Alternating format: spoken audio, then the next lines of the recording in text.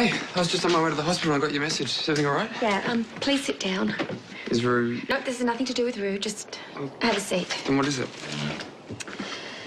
Look, Josh, I know being a teenager isn't an easy time. You know, it can be very confusing. We had this and- chat with Mrs. Stewart Yeah, but already. this is not about that chat. This is another chat. And what I'm trying to say is, She saw you kissing Evelyn. John. Well, you care to explain yourself, Not to mate? you two. No, listen, just sit down, please. It just happened, all right? It's like I planned it. You know when Maddy first brought you into this house, there were a lot of people who were less than thrilled Yeah, I remember. Right. Well, she was the only one who defended you. She fought for you, and she stood up for Look, I you. don't need to lecture on how great Maddy is, okay? I know that. Oh, really?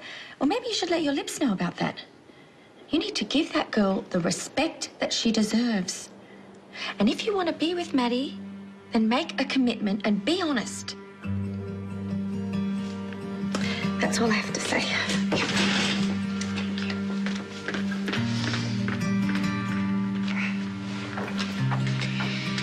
Now, I'm not as nice as she is, so you make Maddy cry, I'll make you cry. Got it?